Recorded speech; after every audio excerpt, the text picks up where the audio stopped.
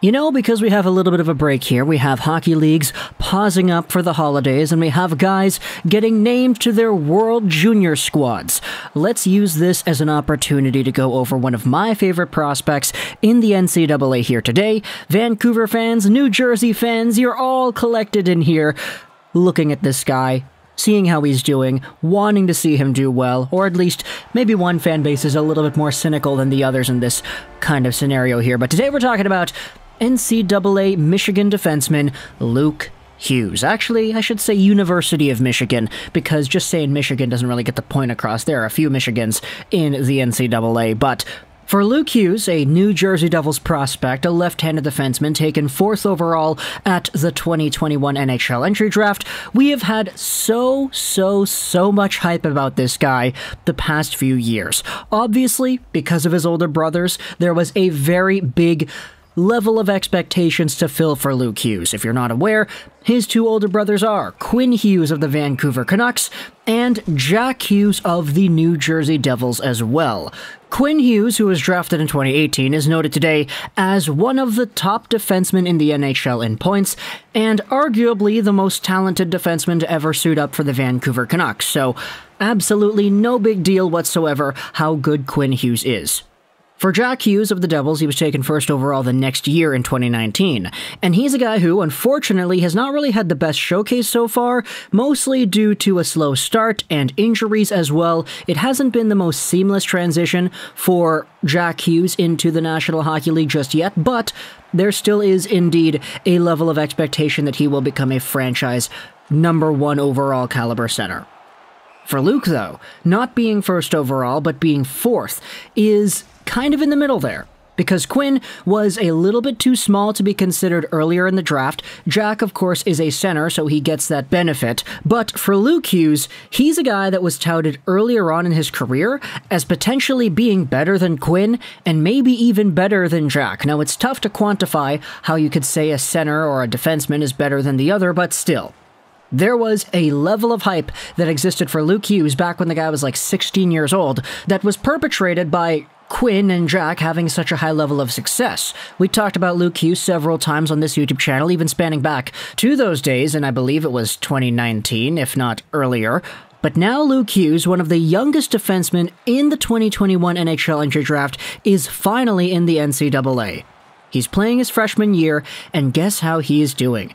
This guy has gone out there and absolutely torched the league in a way that we haven't seen in a while. Now, this is great, because if you go over to Luke Hughes and his game log, take a look, he has himself a total of 18 points in 20 games played for a stacked University of Michigan Wolverine squad. Now, he is actually sixth on the team in scoring, despite being just under a point per game, because Kent Johnson, Owen Power, Beniers, Brisson, and Thomas Bordeleau are all there as well, higher than him in points.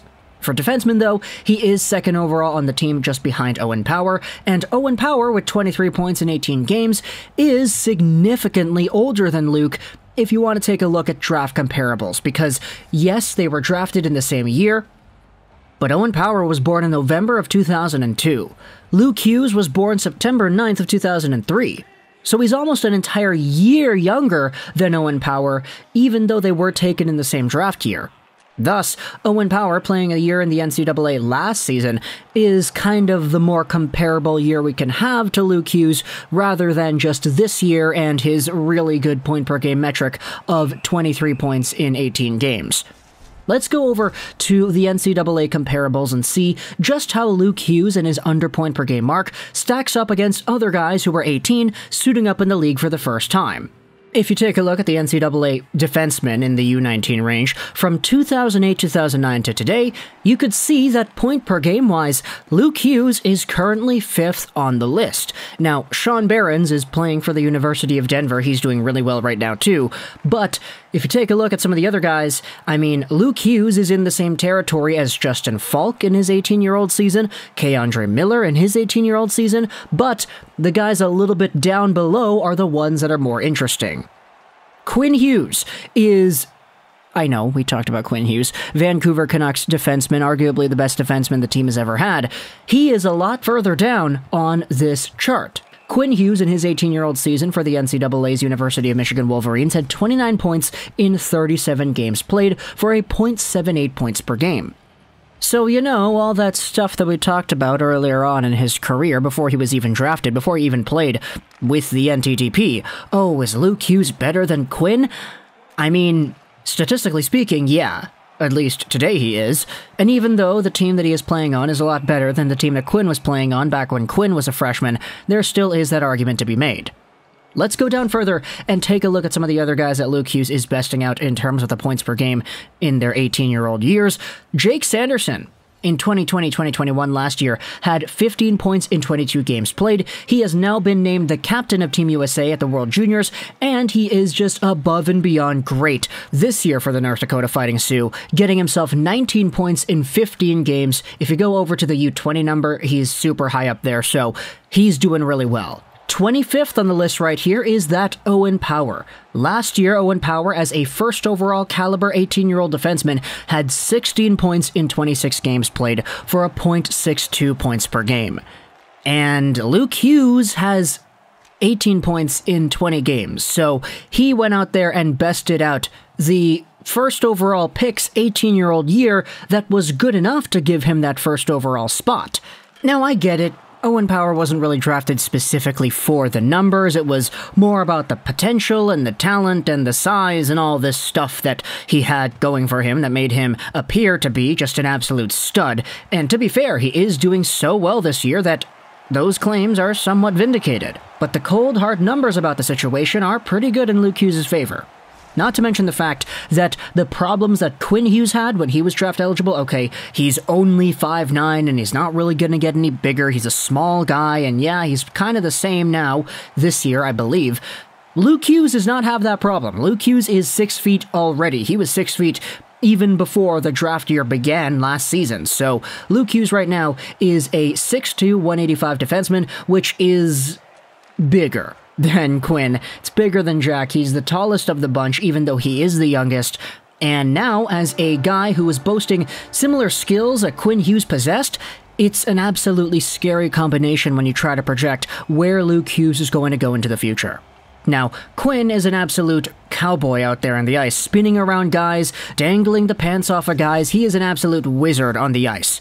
And Luke Hughes, while he may not have the same level of rotational agility that Quinn does, Luke still is a very good, polished, fast skater in his own right. He makes good decisions with the puck. He's very skilled. He's got a really good shot as well, which he unleashes once in a while. He's got seven goals with the Michigan Wolverines this season. And overall, the New Jersey Devils, I mean, they have themselves some pretty good defensemen already. Ty Smith is there. He's looking to be really good into the future. You have yourselves, of course, Shakir Mukhamadullin that you drafted in 2020. And now you have yourselves this Luke Hughes in your pipeline as well.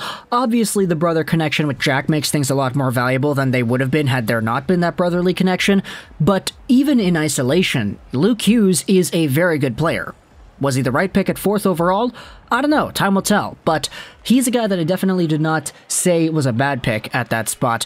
And I mean, if you want to take a look into the past few seasons, the last guy to get drafted fourth overall on defense was, what was it, Cale Makar? No, it was Bowen Byram. Yeah, Bowen Byram's doing really well too. It's just unfortunate that he's dealing with injuries, but hey, look no further on that Colorado blue line than Cale Makar. So, yeah, defenseman going fourth overall in the previous few seasons definitely does have a good track record, and if Luke Hughes can go out there and even be just a shade of what those two guys, Makar and Byram, are, then I'd say this is a pretty good pick.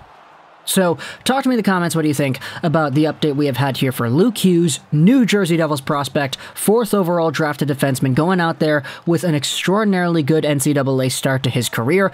Whether or not he makes the NHL right away next season or he spends another year in the NCAA, I'm not really too sure. He is a guy that is good enough to the point where if he wanted to say, okay, play NHL at 19, he would not be out of place. But of course, Owen Power went first overall, and he decided to go back to Michigan because he wanted to develop. And for Luke Hughes, playing a freshman season, he might be wanting to do the same thing. Who really knows? So, talk to me in the comments what do you think about that aspect, as well as the overall profile of Luke Hughes. Do you think he'll outproduce Quinn in the season one day? I'm not really too sure. Quinn's taken an absolutely big step in his game this season, so who really knows how his ceiling is going to pan out. But either way, talk to me in the comments what do you think. I hope you enjoyed this video. Josh Rolson 99. And bye.